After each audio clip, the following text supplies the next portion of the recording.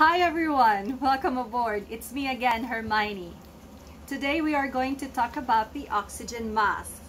Let me tell you the parts of the oxygen mask.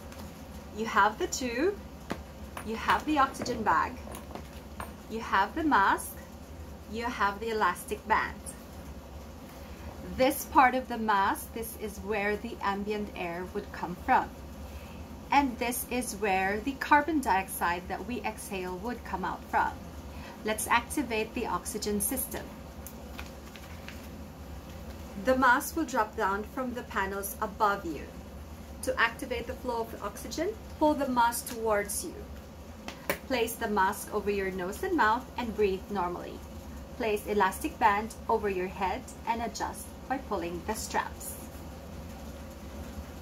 Let's do that again.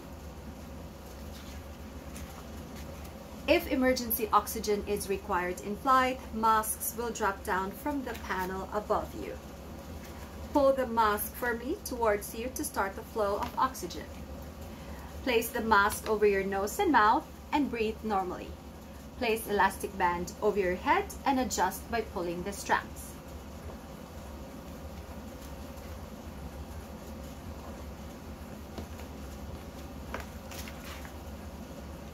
Fit your own mask first before assisting others. So there you go. I hope you learned something new today. And I really do hope that I would be part of your journey to becoming a flight attendant. So please do stand by for more videos. Bye and see you soon.